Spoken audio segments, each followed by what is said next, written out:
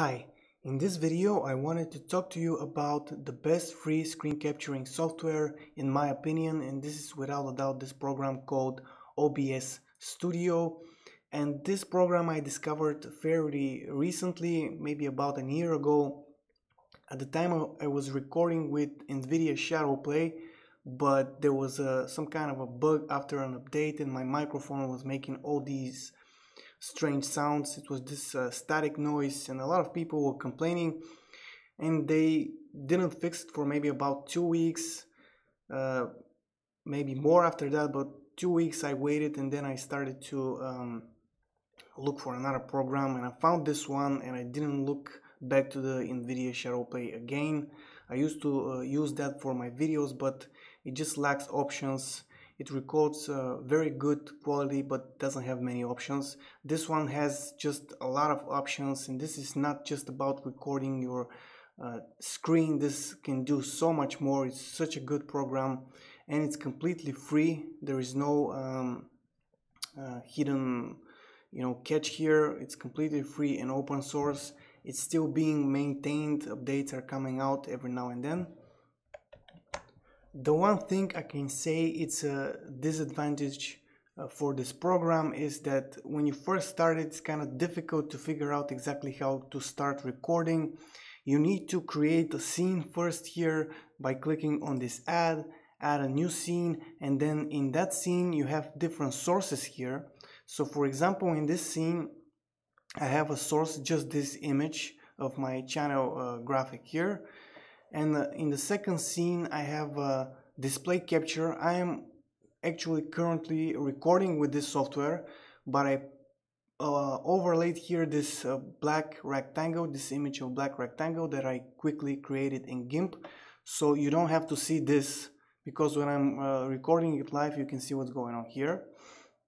So I can quickly just censor this uh, screen and uh, spare you to watch that and uh, this is just a great feature such a great feature to be able to uh, put layers on top of each other. So yes this program support layers and this is just an amazing feature to have in a free uh, program like this. And you can have for example add um, video capture device. Now I haven't this uh, I haven't tested this but I'm guessing you can uh, use a camera that records live and you can for example record your screen and then have a rectangle here with your face with the, the camera feed. You can put more than one camera. You can put just so many different things. You can see them all here. Let me turn on back the image. You can see we have different uh, sources that we can use to be displayed over here. And all of this is happening live here. You can set up your scenes in advance and also the different sources that you're gonna have in each scene and then you can start the recording and just switch between scenes using keyboard shortcuts. Also, you can turn on and off different sources while recording using keyboard shortcuts so everything can happen live. Another really cool feature is that you have live transitions. Usually in order to transition from one scene to another, you need to load them in the in an editing software. You need to put transitions there. Here it's all happening live. You can see right now I'm here in the fade transition and if I click here you can see how it fades into the uh, different scene. I can change that for example to cut which is basically to have no transitions just quickly cut to the other scene. Or we can have a swipe. You can see how this one looks like. All of this is adjustable. You can see the duration here. We can we have more settings. We have uh, option to add and remove uh, different options here as you can see now let's go and look at the keyboard shortcuts which are located in the settings here but before that I'm going to turn off this image so we can see the window that is going to pop up. Click on the settings and here hotkeys you can see what I'm using to start or to stop a recording. You can see also I've added keyboard shortcuts to switching between scene 1 and 2. Now uh, if we go and create another scene, scene 3, let me cancel this for a moment. Click here to create another scene. Just click OK. Now you're probably seeing just a black screen so I'm going to switch to scene 2 so now we can quickly go to the uh, settings here hotkeys and add a keyboard shortcut to switch to this new scene. And for example I'm going to enter control plus numpad 4 so I'm just going to hold the control key and then press the number 4 on the numpad. And then if I want to save this I'll click apply. Now if I want to close this just click OK. But before that I want to show you something else here.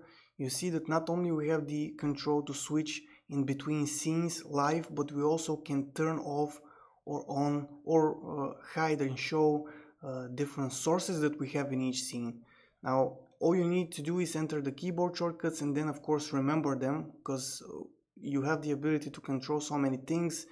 If you add too many shortcuts make sure you can remember them so you don't confuse yourself.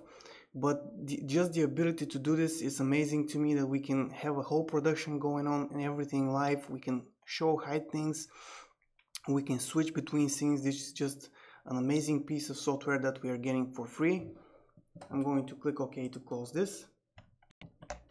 Another feature that this program has uh, that has been very very useful to me especially because uh, some of my subscribers and viewers have been uh, complaining that I have uh, a lot of noise from my microphone. And the microphone uh, that I'm using is actually Logitech and it's advertised it was advertised as a noise cancelling microphone. I spent 50 or 60 dollars on it it's not of course a top of the line microphone. It's not a 200 dollar microphone but it's still not the cheapest and still there's a lot of noise going on with it.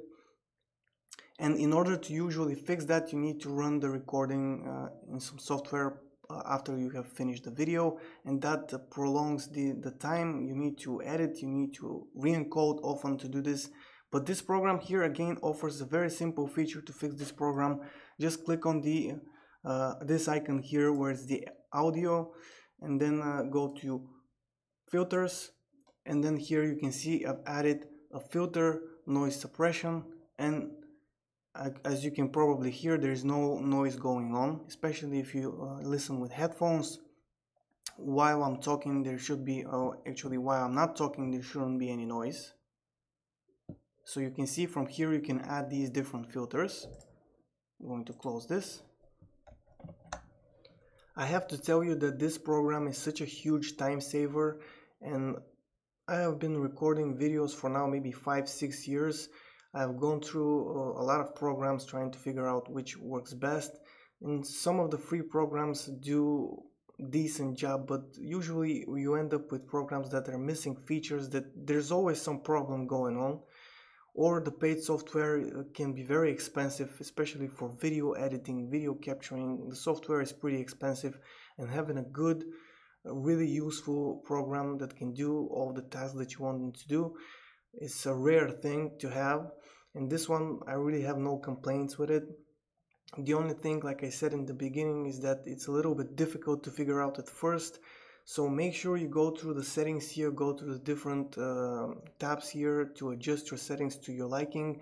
If you're having any trouble with something and something is not working, and uh, you're just having trouble getting the program to do what you want to do watch a few tutorials i at first myself watched a couple of videos when i started because i couldn't figure out exactly how to start recording my my screen it turned out like i said to just you need to add a scene and you need to add a source so it's pretty simple but someone needs to show you of course and in the future maybe i will make more videos tutorials about how to use this program and how to make the best of it.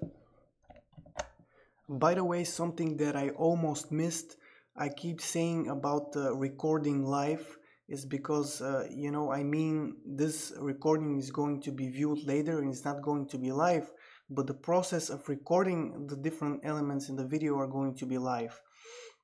But this program has also another very useful feature and this is the streaming so you can actually stream live using this program you can set up your scenes in advance set up your sources and then you can control what you're going to show to people in your live stream. So this is a very very useful feature to have in again a free program like this. So in conclusion i have to say that this is in my opinion the best free screen capturing software but it is so much more. You can do so much more with it than just capture what you're doing on your screen. And if any of you guys know a program that is better than this one or maybe as good as this one you can share it in the comments just make sure to leave the links out just put the name of the program because YouTube is going to um, mark it as spam and that's not a good thing. Just leave the links out and uh, enter the name of the program that you suggest. And I hope this video was useful. If it was make sure to like it to visit my channel for more if you're new and to subscribe. And that's it for this one. Bye for now